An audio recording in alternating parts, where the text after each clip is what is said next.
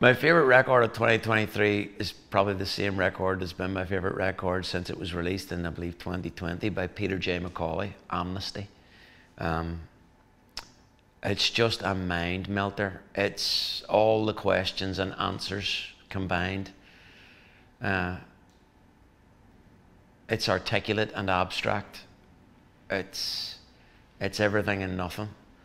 I know that's very grandiose and this is all subjective, isn't it? Really, uh, but to me, he's an artist, a writer, and a performer that, to me, feels like he's always in the flow. Um, it always feels unique, and I love that record. Uh, it has broken me and healed me in equal measure uh, in all the right ways.